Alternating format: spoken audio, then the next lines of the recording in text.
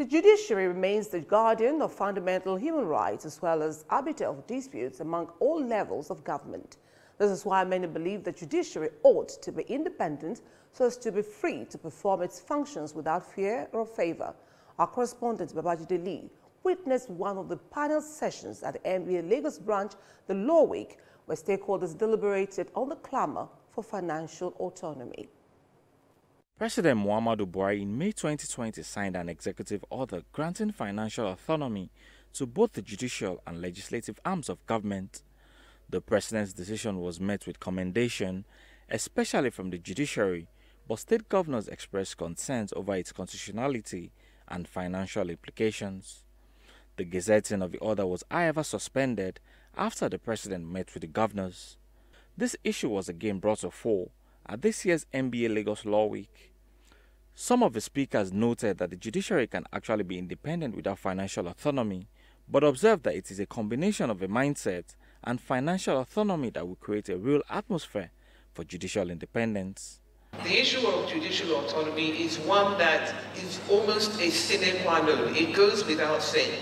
It's not the answer, but it's not something that we should at this stage have to be worrying our minds about. We should expect that the judges should have an input into their budget, they should control their budget to the extent that they know that they're awarding contracts, whether they feel that it's new cars they need or new courtrooms or more courtrooms or more seats for the um, lawyers. Those are all things that judges, the judiciary, should be in charge of. In our history, the, the judiciary wasn't given the responsibility of dealing with all the things that they're required to do as a judiciary.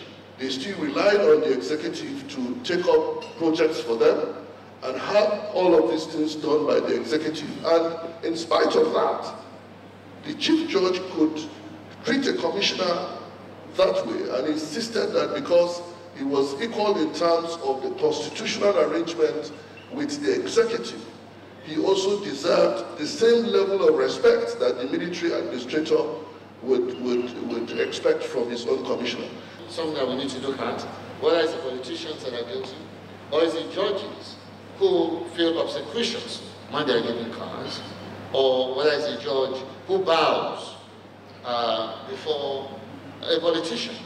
For the Attorney General of Ekiti State, judicial financial autonomy is not the same thing as judicial independence. From 1999 to 2011, I think, the federal government has reviewed salaries and allowances of public officers uh, on four occasions, if I'm not mistaken, uh, 2000, 2005, 2007, and 2011. Uh, the judicial salaries and allowances have not been reviewed uh, throughout this period. So our judges effectively, and I'm talking about high courts, uh, superior court judges, our judges effectively have been on the same salary for more than 11 years. The question that continues to come up is whether the financial autonomy of the judiciary remains key to judicial independence or just a ruse. Babajide Lee, Silverbird News 24, Lagos.